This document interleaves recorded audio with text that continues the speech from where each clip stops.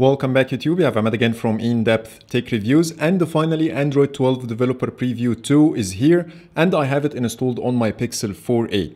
I will start with the functional changes first and then I'm going to show you each and every visual change compared to my Pixel 4 XL on the Developer Preview 1. So let's see what's new with Developer Preview 2 but before getting started let's make sure to subscribe and hit the bell icon to get notified every time I post a new video. So let's jump in.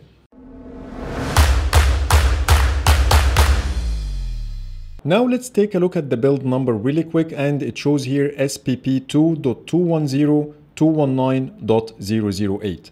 And the first exciting feature in this build is the picture-in-picture. -picture. So let me play one of my videos to show you the new changes. The first change is the new pinch to zoom support. I can now resize my picture-in-picture -picture window using the pinch to zoom gesture in addition to the previous way by dragging my finger on any of the corners so you have the two options and you can use whatever you want. The second difference you will notice is in the size. As you see, I can now fill the entire width of the screen, which wasn't the case before. Previously, the maximum size we used to get was similar to this one, but now we have a lot bigger size. And the third change is the ability to dock the window to any of the sides with a simple swipe and to get it back, simply drag your finger on top of the visible area and move it back to the center of the screen. And I found this feature to work perfectly well with all sizes. So here's the smallest size possible. I can still dock it without any issues. Plus you can move the docked window up or down to make it as convenient as possible. And this new way is a lot more convenient than using the headphones icon because this one will completely dismiss your picture-in-picture -picture window and the only way to get it back is to open the app and close it again. Other than this, it works exactly the same as before. These new changes will also apply to other apps. It's not only for videos. So let's take Google Maps as an example. Here I have a navigation already running. When I quit Google Maps, I will get the picture-in-picture -picture window. I can pinch to zoom to resize. And as you see, the size now is a lot bigger than before. Plus, I can still dock it to any of the sides as shown before. Next, the one-handed mode is now available under settings, so you can activate it without using any ADB commands and it has some cool new features that we didn't see before. To activate the new one-handed mode, head over to settings and then go to system, gestures, and then you will find one-handed mode. When you go inside, you will see three different options. The first one is a toggle to turn the feature on or off. Secondly, you have a toggle called exit when switching apps, which means once you switch to a different app, the one-handed mode will stop automatically. If you don't want this to happen, you can turn the feature off. And finally, you can set a timeout window by choosing between 4, 8 or 12 seconds or simply set it to never if you want to manually close the one-handed mode yourself. So let's put it into action to see how it works. First, to activate the one-handed mode, simply swipe down on the home indicator and everything will be pushed down, which is pretty much the same approach as Apple's reachability gesture. To deactivate the one-handed mode, tap anywhere on the empty space at the top or simply swipe up from the edge of the screen. Now let me open one of the apps to show you a cool trick. Here I have Google Play Store, I will activate the one-handed mode. If I want to take a look at the hidden part of the app, I can simply tap and hold on the home indicator it doesn't work as expected sometimes, but when I try many times, it works. So here you go.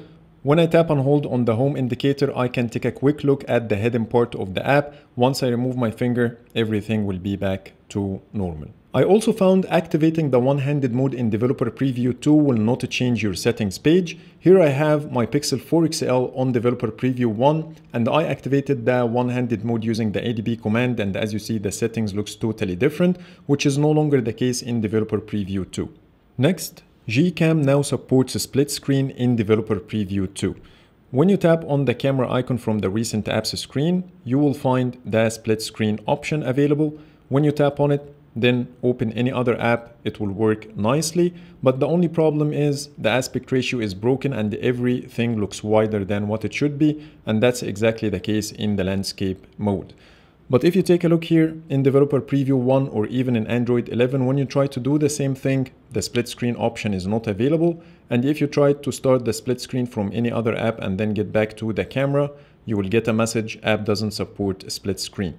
In my case, this feature might be useful when I do a camera comparison. I can put the picture of the other device side by side with the camera to be able to take the exact same shot. So if you have any other scenarios in mind, please let me know in the comments. And by the way, you can also play a video from Google Photos while having your camera recording a video at the same time. Next, the screenshots. And now when you take a screenshot and tap on edit, you will no longer see the option to add emojis to your screenshot, so I'm not sure if it's a bug or Google decided to remove the feature. Now let's take a look at the visual changes and I will start with the lock screen. When you swipe up to enter your PIN code, you will see a different keypad. It's narrower and taller compared to the one in Developer Preview 1.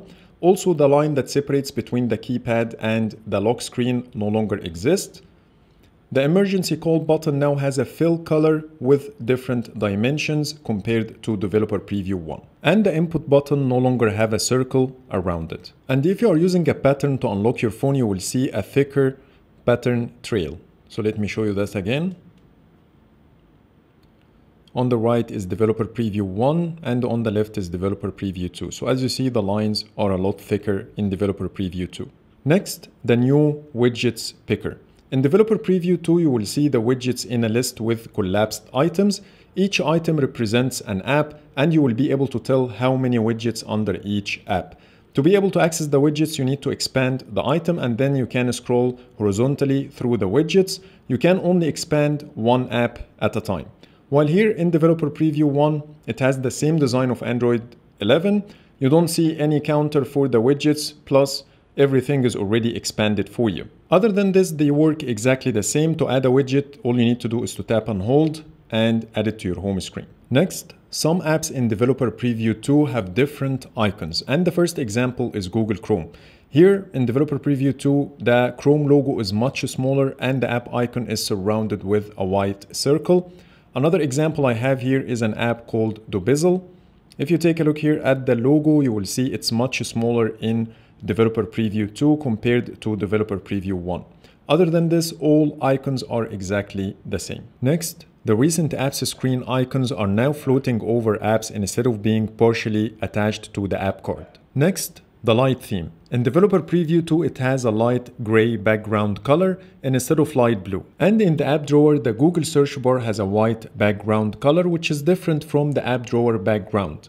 While in Developer Preview 1, both of them share the same color. And you will see the same difference under settings. The search bar has a white color on a light gray background, while in Developer Preview 1 both have the same color. And when it comes to the dark theme, Developer Preview 2 is using a dark gray color instead of a black color like in Developer Preview 1, and that applies to the notifications shade, the app drawer, and the settings. But that's exactly the opposite when it comes to the app folders. In Developer Preview 2, the app folders are darker than Developer Preview 1. And that's exactly the case with the quick app shortcuts. They are darker in Developer Preview 2. Next, the media controls will no longer match the album art background color, but they will match your device accent color instead. So let me show you some examples. So here is how it looks with the blue accent color, the green accent color, and the purple. So you got the idea. In Developer Preview 2, the folders will have more white space or in other words, extra padding. Next, the Styles and Wallpapers app.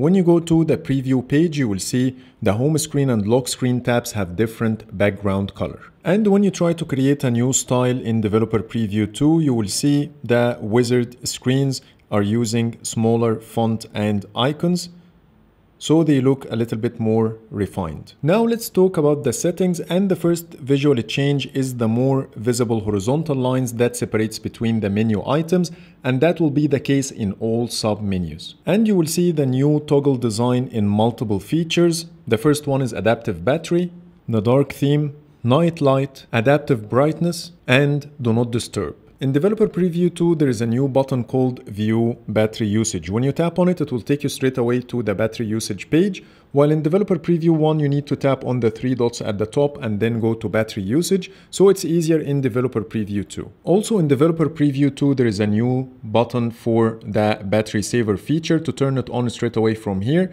and instead of going inside the battery saver menu. Next, there is a new toggle under NFC. When you go to connected devices, and then connection preferences.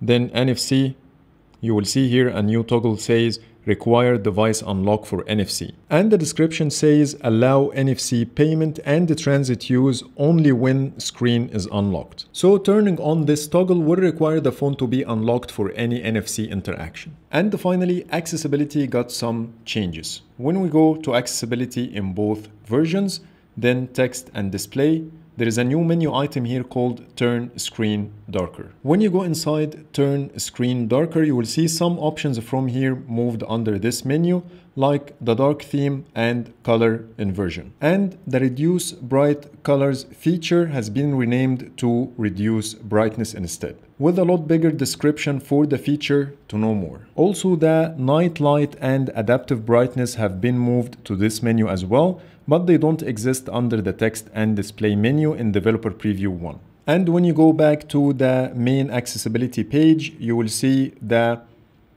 audio and on-screen text category has been separated into two different categories.